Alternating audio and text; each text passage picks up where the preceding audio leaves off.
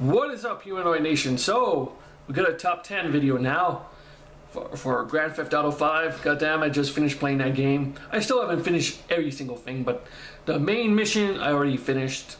This time I actually went back and replayed it, so I didn't have to kill either one, Trevor or Michael. That way all three of them are playable, because like I fucked up the first time because I killed off Trevor for the first one, and then I couldn't have Trevor again. So yeah, now I have all three characters that I can play as, and that's fun as fuck. Trevor Phillips, man, he's insane. Anyways, Grand Theft Auto 5, 10 weird facts. Let's do this. Hopefully I can learn some shit. My name is Nickel. Oh, Nickel. Oh, These Nickel. are 10 weird facts about Grand Theft Auto. If you haven't checked out the other videos on this channel, make sure to check out Weird Facts Call of Duty, The Witcher, and Fallout. I still haven't played either of those games. The video was uploaded Well, Call of Duty I have. It's kinda weird. 2014 by ISIS, the Salafi jihadi extremist militant group. The purpose of this video was to use edited Grand Theft Auto 5 footage as propaganda to recruit younger people into their army. My pronunciation Really? will be off, but the video ISIS is recruiting, huh? Theft Auto What else is new? Salil al-Sawara, which can roughly be translated in Arabic as the sounds of swords coming together. The video opens with this message written on screen. Your games which are producing from you, we do the same actions in the battlefields. And it contains the ISIS logo. Think they spelled battle video. wrong? You then see an image of a man I'm not sure, though. Fighter wearing Isn't it a black B-A-T-T-L-E? bandana, Black shirt and camouflage. Gotta look this up later- firing later. an assault rifle. Later in the video, you hear fighters shouting Allah Akbar. Allah Akbar! God is greater or God is the greatest as they attack police officers and a military base in Los Santos with AK-47 rifles. According to a Forbes article, ISIS was using this video to raise the morale of the muhaddins and to train children and the youth how to battle How young were these kids? Like 10 years old? 6? 7? I wouldn't be surprised if they're really, really young. ISIS is just using GTA 'Cause 5 ISIS is a fucking crazy group. Or if ISIS has actually developed a modded version of the game and are using it as a training tool. Ah, When Rockstar released the Beach Bum update for Grand Theft Auto 5, a pretty severe bug was introduced for some in Japan. The Beach Bum Oh, in Japan? was supposed to include new vehicles, weapons, and quite a bit more, but it Hey, also it's a Juggalo. This. Yep. The characters of some players from Japan suddenly had an appearance swap, where younger characters became old, white characters became black, and men became women. what? These changes also happen in reverse. And of course, That's whenever fucked up like shit. this happens, people took to Twitter to post images of what happened to their characters. Here are some that were posted when men became women, and here are some when women became men. This bug, of course, has since been resolved. Towards the end of GTA San Andreas, a corrupt police officer named Frank Ah, spoilers. No, of his crime never mind. I'm currently playing this. This was a reflection of the real life events that took place in Los Angeles in the early 90s. Several LAPD officers were videotaped brutally beating a man named Rodney King after King had engaged in a Rodney got chase. fucked up. Due to the court's inability to draw a verdict, the officers were acquitted, causing public outrage and race riots. Yeah, the LA riots, that was a big ass thing 2,000 going were on. Injured, and an astonishing 8,000 plus people were arrested. The riots only ended after the military was called in. Nearly 4,000 Los Angeles buildings were burned with over $1 billion in property damage. In San Andreas, the Los Santos riots ensue for a similar purpose, starting with the corrupt police officer Frank Tenpenny being acquitted The guy played by. Samuel L. Jackson, right? The LA In the riots game? took place in 1992. Yeah, I'm pretty sure it's the Sam Jackson. San Andreas is set in. The GTA franchise has been hit with over $1 billion worth of lawsuits. God, Back in oh, 2010, Cypress Hill backup singer Michael Shag Washington claims that Rockstar ripped off his likeness and details from his life in order to create the main character of GTA San Andreas, Carl C.J. Johnson. Washington filed a lawsuit of $250 CJ? million dollars, even though he What was credited I need as a to- model in the game. San Andreas- lost the lawsuit, man, the I gotta step up my gaming thing. Plaintiff is relying entirely on CJ's physical appearance in the game, but that appearance is so generic that it necessarily. What about the one that looks like Easy E? Males. Nothing about him? Or is he coming up this later? Rapper Daz Dillinger suing for music copyright infringement, Mob Wives star Karen Gravano suing for using a storyline similar to her life story, at least a part of it, and Lindsay Lohan for using her likeness on promotional material. None of these lawsuits were successful. That looks nothing like a Lo- Lindsay In Lohan. June of 2003, driver and passenger Aaron Hamel and Kimberly Bede were shot by two boys named William and Josh Josh Buckner. The boys had taken two rifles from their home, hid in the trees, and started firing at passing vehicles on a busy highway. In their defense, they told investigators that they got the idea to shoot cars from Grand Theft Auto 3. Jack Thompson, the lawyer Such representing the retardedness. said, "We are going to show that this game did influence these boys and cause them to go out and shoot at these people." Sam Houser, the Always blaming games. said, Can it just be that your f- kids are just fucking same year, stupid? a teenager named Devin Moore. Because no normal person would do that shit. the police on Like I play GTA of 5 all the time. grabbed a gun, I like playing as Trevor Phillips. Am I gonna go out there and do the fucking shit that Trevor Phillips does? No, I'm not that fucking crazy. He stole that police car, but then was quickly captured. The connection. I don't like to go in jail. I don't want to have my uh, cellmate named Bubba who fucking rapes me every day. Actions. Escaping I ain't fit for jail, man. Officers and then escaping. I wouldn't survive, When he yo. was caught, he reportedly said, Disabled like a video and Marv hands and a fucked up foot. Yeah, I'm pretty much easy pickings. GTA 5 at the time of making this video is the fourth highest selling game of all time at 52 million copies. So, you can imagine how hectic the launch of a game like this must have been. Upon release, gamers waited in line around the world. Good thing I don't buy games right away. I don't even know about them. I wait like two, three years after. GTA, calling in sick to I get 'em. and play GTA 5. Some people took it a bit further than just calling in sick.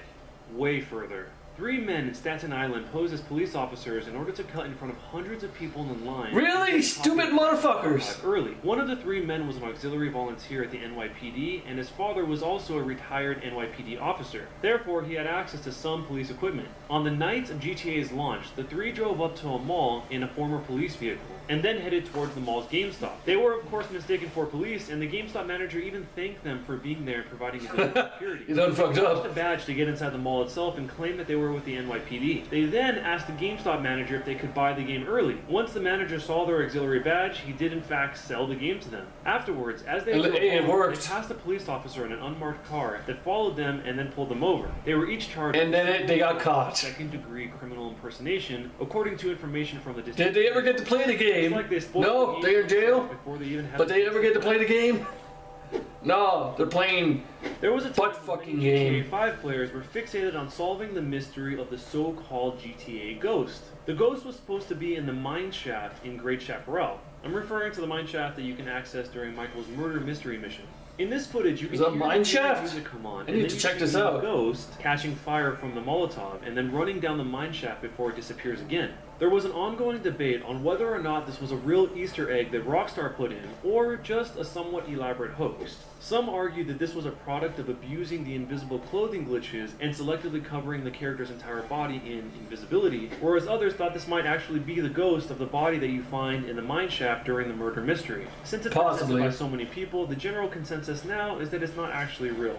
But there is a real ghost in GTA 5 that appears The car at ghost. the El Gordo Lighthouse near the park of Mount Gordo. I At need to go there. 11 o'clock at night, if you look at this location, Oh, location, that. you can see her appear where she will remain until the clock strikes 12. If you get too close, though, she'll disappear. Right below where she is, the word jock is written in blood. This is a reference to John Jock Cranley, the politician who was running for governor against Sue Murray. The connection makes a bit more sense if you go to the Who Killed Leonora Johnson in-game website and click on the section that says Another Vinewood Mystery. There's so much stuff I don't know about this game. I didn't know we had that shit in there. That John Jock Cranley and I just did the missions. Jolene were walking by the cliffs overlooking the El Gordo lighthouse when a dispute ended in Mrs. Cranley falling to her death. That's pretty spooky stuff. As we've seen, a lot of people have tried to blame GTA and in many cases even tried suing them, but Rockstar's parent company, Take Two Interactive, has also had to strike back. In May of 2015, Rockstar filed a lawsuit against the BBC after the BBC announced their plans to create a movie related to the Grand Theft Auto series. The film would star Daniel Radcliffe and Bill Paxton. The lawsuit was based on The film will star Daniel Radcliffe. titled Game Changer. The feature Really? film will focus on the Okay. connection between Rockstar president Sam Houser and the infamous U.S. attorney Jack Thompson, who tried to sue the franchise because he believed that it promoted violence and saw it as a cop-killing simulator. You might remember the name Jack A lot of games from have one the cop-killing earlier acts. He simulators was the in the attorney that was mentioned. Fucking The game. film was inspired by the Not supposed to take the fucking thing seriously. Book titled Jack, the outlaw story of Grand Theft Auto. The film is to be directed by Owen Harris, the director of Misfits and The Secret Diary of a Call Girl. Rockstar has stated, we have attempted multiple times to resolve this matter with Secret Diaries of any meaningful That's a weird It is show, man. To protect our Billie Piper. I never thought I'd see her in that kind of case, litigation show. was necessary. When the BBC was asked by PCMag.com about this issue, a spokeswoman from the BBC only stated that we do not comment on legal matters. Filming is already underway, and it is expected to be released in early 2016. I'll watch it. I'll watch it. the protagonist of GTA 4, was voiced by an actor named Michael Hollick. Despite the Eastern European accent you hear in the game, he's actually an American actor from New York. That's pretty good accent, man. I just started playing that game and I actually thought it was a real accent. $100,000. After the game Damn. during a New York Times interview, he vented his frustration that he wasn't paid enough and he received zero royalties or residuals. He stated that the work that he did should have earned him more considering the amount of money that GTA 4 made, over $600 million within weeks of release. After this dispute, Rockstar and Hollick were not on good terms, and that's why in the Ballad of Gay Tony and in the Lost in the Dam DLC, Rockstar just reused his voice instead of recording any new lines. well played, Rockstar. MTV, Well Rockstar's played. Vice President of Product Development, Geronimo Barrera, was asked if Niko's voice actor was brought back to contribute new lines for the DLC, and he replied, "Hell no." Afterwards, said that You know you don't like the guy when you have to say, "Hell no." More than the one hundred thousand dollars for his work. As many people know, Niko is based on a character named Sasha from the 2001 movie Behind Enemy Lines. You can even buy Sasha's outfit from Behind Enemy Lines in the game. Vladimir Mashkov, the Russian actor who played Sasha in the film, was actually approached by Rockstar first to do the voice work for the character. But Mashkov declined, and the role ultimately ended in the hands of Hollick. Why did he decline? Despite the It would have been awesome. relationship between Rockstar and the actor that played Niko, it didn't entirely write Niko out of the following game. Here are a few references to Niko Bellic and his cousin Roman Bellic in GTA 5. Within the private taxi fare missions, there's a mission titled Got Your Back that ends in a shootout. Once it's done, look at the license plates of the cars in the area that you're in and you'll eventually see one that says Roman B and Niko B. On a laptop in Michael's house, you're able to see Niko's Life Invader page. One of Niko's Ah. recent status updates says, Gotta check that out again. Right before the Vangelic Not Conference, really. when you go to Lester's warehouse and Michael is Oh, fucking Lester. I love that guy. together again, Lester says So fucking "There are no sassy." guys. There was an Eastern European guy making moves in Liberty City, but he's gone quiet. Although they don't say it directly, this is obviously a reference to Niko. In the Paleto Bay score mission, if you select Packie to be one of the That level along with Was you. fucking insane. Trevor, Michael, and Fritz Machine gun. car about their first bank score. And just doing all that shit, goddamn, that was fucking job, insane." The Bank of Liberty City. It was me, my brother Derrick, my pal Michael, and another boy, Niko, who is probably dead. This last one is just weird that it was considered to begin with, since we haven't seen a Grand Theft Auto game on a Nintendo console that wasn't a handheld before. Dan Houser of Rockstar Games was asked what platforms Grand Theft Auto 5 would come to after the announcement of their PS3 and Xbox 360 support. He only responded simply that everything else is up for consideration. One of the less Translation? They don't know. Nintendo's Probably. U, but it appears that the game was in fact prototyped for Wii U, but ultimately it wasn't developed due to Wii U's performance. Nintendo apparently wasn't in opposition to bringing Grand Theft Auto 5 to the Wii U if circumstances had allowed. Reggie Fils-Aimé, president and COO Fils-Aimé. stated that, quote, the folks there at Rockstar Games have said very nice public comments about the Wii U. In the end, The Wii U is not that great. to have a large Neither- maybe it's just me, but I can't stand the Wii U. It's just really, really annoying. And essentially create environments where teams like Rockstar can bring their very best content to our platform. And if we do that, hopefully the very best content throughout the entire industry will show up on the Wii U. As a final side note, the word Nintendo is actually a banned word in Grand Theft Auto 5, which means players can't say the word Nintendo to each other. Really? Nickel, oh Nickel, and I want you guys to leave me some That's fucked up. in the comments down below for some games you think I should do one-off Let's Plays for. I just got back from PAX, and I do have a bit of the PAX Pox, uh, which means I'm a little bit sick. But I saw that the number one most requested thing was for me to do more Let's Plays for the channel, which I've been planning to do for a while, but I just haven't done it yet because I've been working on the Weird Facts series so much. But leave me some one-off suggestions because I already have a few series. Uh, Your voice is amazing, man. One-off I could just listen to that all day. play, you know, just one episode of. And if you see anything else that anyone Very calming and suggested- shit. suggested, and you like that, give it a thumbs up so all the good stuff floats to the top. You can put anything, um, any of the new horror games or whatever, something that would work for a one episode gameplay video.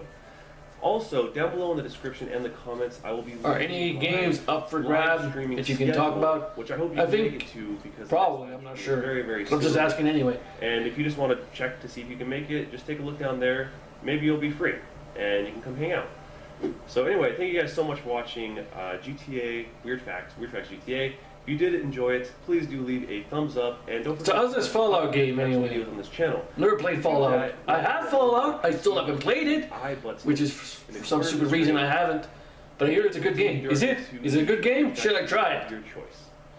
Thanks so much for watching, guys. I'm gonna try not to be sick anymore, and I will see you next time. Bye. You know, My name is Nicole. Oh, God damn. All right, it just went to the next video for no reason. Or re- okay, yeah, it did. But yeah, oh Nickel, very informative, man. Very informative. I was surprised by the many things that you said. But like, I s- but damn, I gotta start playing these games in order rather than from five to before. Cause I don't know why my brain's saying that. I started out as like five, and then I got the other games, and I'm starting my way below five, five, four.